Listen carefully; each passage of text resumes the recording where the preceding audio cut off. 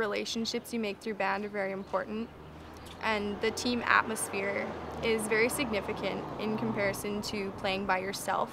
In band, you rely on everyone around you to help you out, and you know that someone's there when you need it.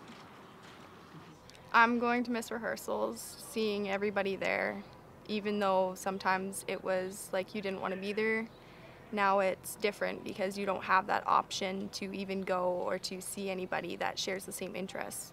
But I think that there are other options than completely cutting a program, taking a little bit from here, taking a little bit from there, and just altering things. Band is important to a lot of students and it's a musical it's beautiful honestly like the things that people accomplish and the way that you feel comfortable and I think that there is a way that they could change it so that they could keep it.